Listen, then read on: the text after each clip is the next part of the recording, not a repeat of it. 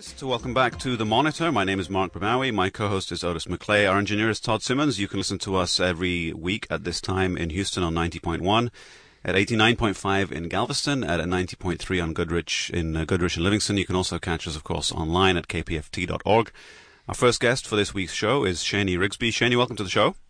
Thank you. Thank you, Mark. Nice to talk to you. It's good to have you on. For people who uh, missed the beginning of the show, uh, Shani is a singer-songwriter.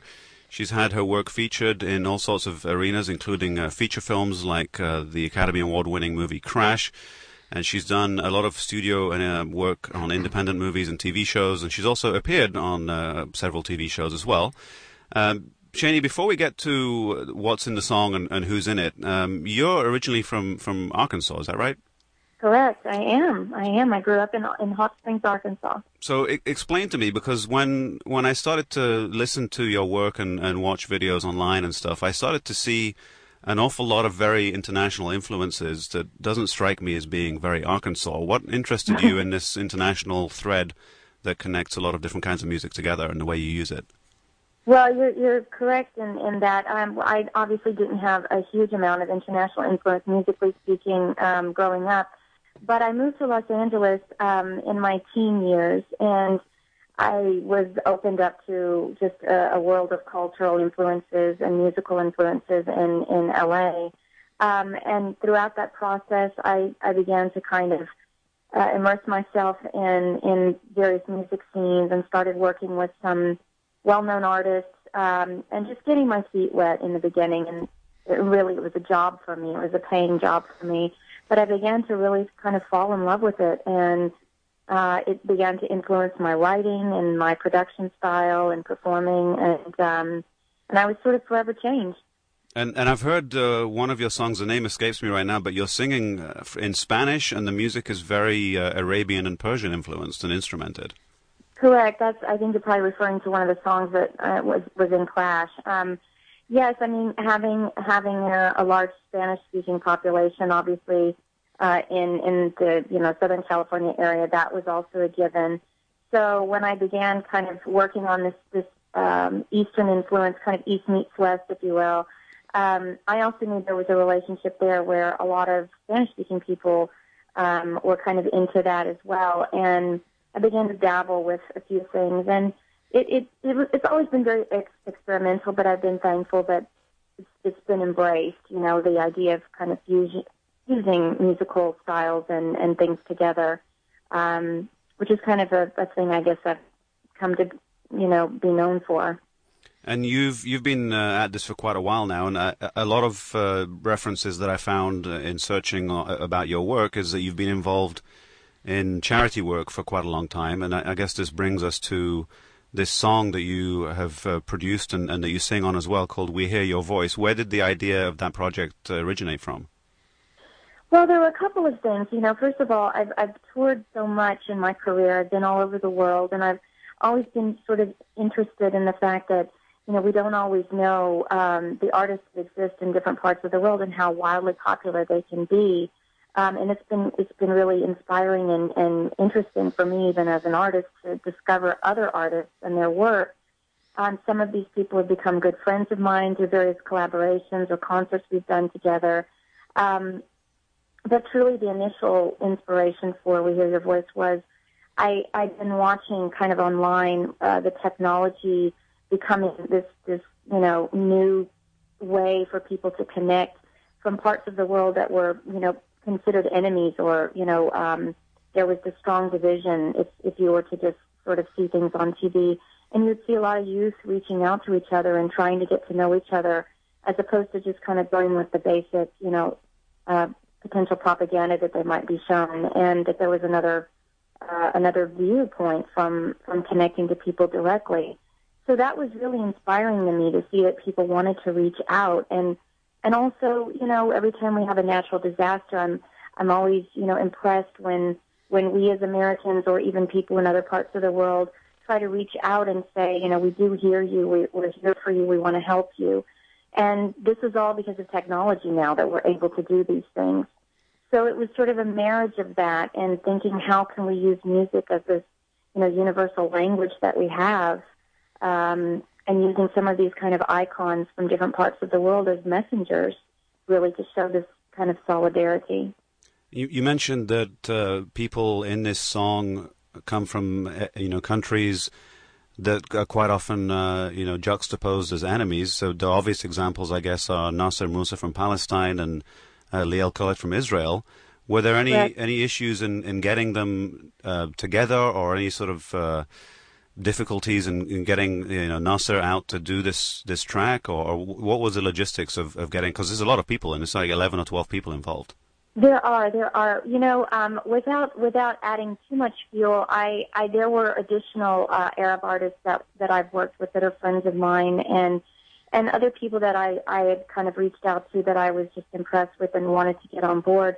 And I have to say that they, um, I had I had definitely received some hesitation on their part, not so much because they themselves were afraid or didn't believe in the message, but they were concerned about safety issues. They were, you know, feeling that they might be admonished, that there might be some safety issues for their families. Um, and as sad as that was, it actually motivated me more to remind, you know, remind me how important this is, and that it is just a peaceful kind of, you know, humanitarian statement. Um, we're trying to do things for the future generations, for children, and to this is this is a charitable project really, and and we we thought we were in a great position as, as artists to, to reach out and say, you know, we're standing side by side through music and we can find this common ground, you know. Um, but it wasn't something that everybody could do. And those that did, um, I'm so grateful and I, and I know they were brave and I know that's what's in their heart. That's what they're about. Uh, they've kind of committed their lives to that. So all the power to them.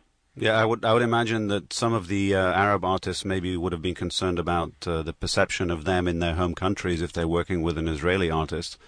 That's certainly one yes. of, one of the political things that would have come up.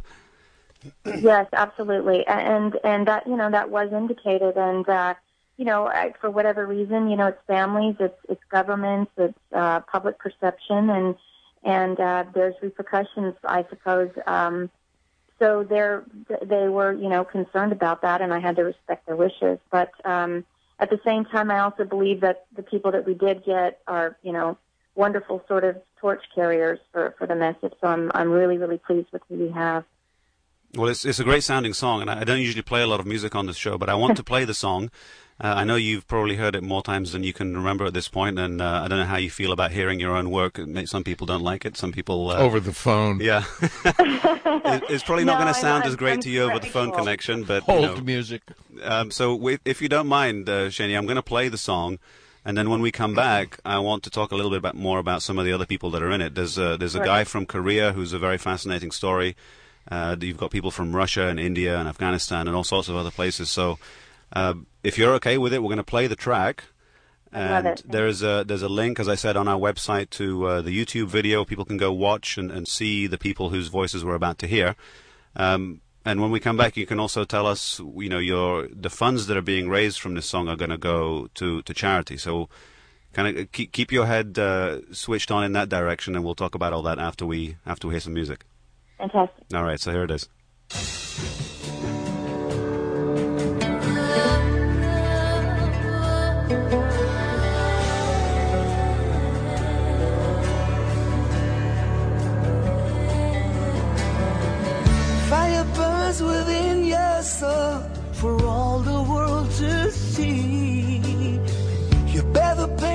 Try to hold your truth to set you free. And when it feels too hard to just go on,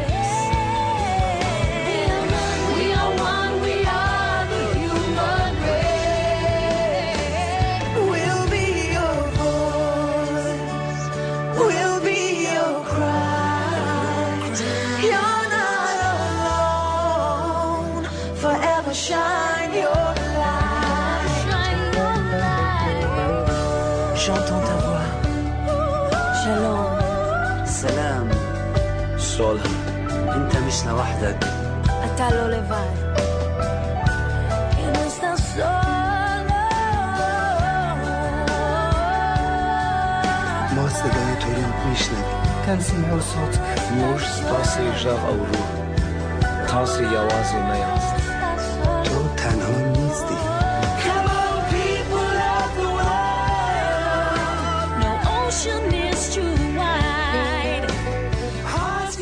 Well, there is uh, there is more to that track. There's uh, we cut it short by about a minute just because uh, the reality of a live show that's only an hour long. We had to do that, but uh, Shani, fantastic stuff. Thank Um, you. What uh, what can you tell us about the charity or charities that you're hoping to raise money for, and how people can contribute to that? Well, we decided since this is such an uh, international, you know, collaboration with all of these artists, um, it was important to, first of all, we all wanted to focus on on children because this is about the youth and, and the future. So we decided to uh, choose international charities which, you know, are are strongly rated or or are well known, such as Save the Children, um, that has an international presence. And at the same time, we've picked um, a few local or specific uh, uh, places, if you will. I recently attended um, uh, an orphanage in Mexico, in Tecate, Mexico, and um, there are a few specific places like this where we will also give some direct funds to. Um, but we also think that by working with some of the larger organizations that this is such an ongoing movement that um, throughout you know the future when when funds are needed specifically in certain places these organizations will know you know where where the funds would be needed um, most most so that's not our business that way we you know we make sure that things are happening correctly and um and where they're most needed And and what's the easiest way for people to to donate or get involved? I assume they can download the song online, obviously, probably through iTunes.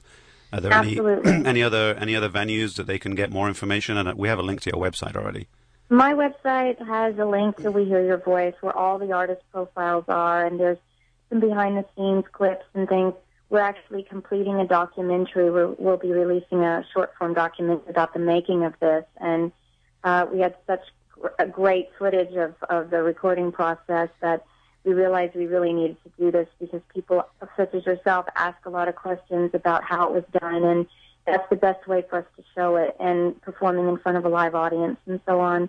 But as far as how the public can be involved, it's you know they can go to their favorite download site, whether it's iTunes or Amazon. It's it's all over the world. It's available now all over the world. And uh, in the in the form of four or five minutes we have left, I wanted to just get to some of the more uh, unusual stories. There's one guy in particular who stood out for me, who I'd actually seen on uh, Korea's Got Talent, uh, probably sometime last year. I don't know how you know how old the performance was that he did on there. Um, Yes. I, I may say his name wrong, but this is Su- Sung Bong Choi. Correct. That's correct. Yes. And so, Well- what what is his story for people who don't know him, and how did you find him?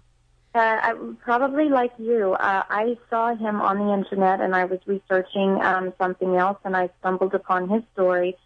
Um, he was a young uh, child uh, orphan of about three years old. Um, he was orphaned in Korea and he, after having a very abusive background, he uh, more or less escaped the orphanage he was in and raised himself on the streets um, in Korea from the time he was five and it's that in and of itself is just unbelievable. Um, but music got him through, and he loved music. He loved uh, classical music, and he would listen um, to singers. Uh, I guess he he had access to a, a nightclub, and uh, he was able to listen, and that got him through. So he auditioned for Korea's Got Talent, and they told his story, and it's had something like up to now more than hundred million hits. Um, and he's singing this amazingly beautiful operatic piece.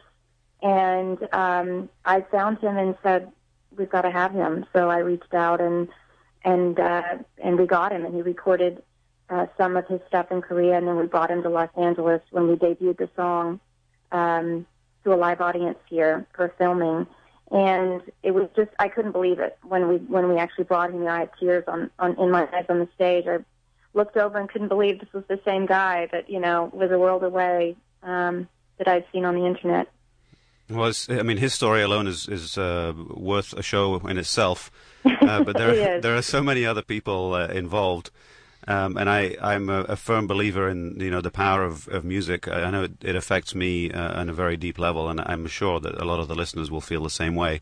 Uh, we have about a minute or so left. Any any closing thoughts you want to leave people with about uh, you know what you've got coming up next, or what you hope this will lead to in the long run? I just hope that people will, you know, give it a thought that that all, what all of these great artists have done, that they reached out and said, you know, it doesn't matter where we're from. We we we're hoping for a better world, and we're proud of of you know where we're from, what our culture is. But we do live in one world, and and what what happens affects all of us. And it's you know you can decide to just feel defeated, or you can get up and try to make a difference, and that's what we all did and everybody can do their part. You know, this is about the future and it's about future generations. So I would just inspire people to get involved, you know, and, and learn and, and try to connect however they can. Well, I I do get the occasional email from people saying, you know, your show is just full of depressing bad news, and I feel disgusted with the world after I get through an hour of this. I mean, it's important to know about, but it's so depressing. Uh, so hopefully, this is a, a change of pace for for listeners and uh, something that they can get involved in. The links to shanimusic.com and to the YouTube video are up on our website. And uh, you know, if you if you're into music, which I suspect a lot of you probably are, uh, you can go download this, and you know the the money is going to a good cause, and uh, there's a lot of very interesting international people involved. Thank you, Mark. I, I really appreciate your, your doing this and, and hopefully it will uplift people and give them that little, that little glimmer of hope that we all need. Yeah, and I, I want you to, to follow up with me as things uh, develop with the documentary because I'd love to watch it when it's finished. Most definitely. You got it. I appreciate it. I sure will. All right, great. Thanks so much. That was uh, Shani Rigsbee, or Shani, I should say, Rigsbee, singer songwriter. Her website, uh, shanimusic.com. Uh, as I said, there's a link to the YouTube video on our website. Uh, you can do a quick search for We Hear Your Voice to find it.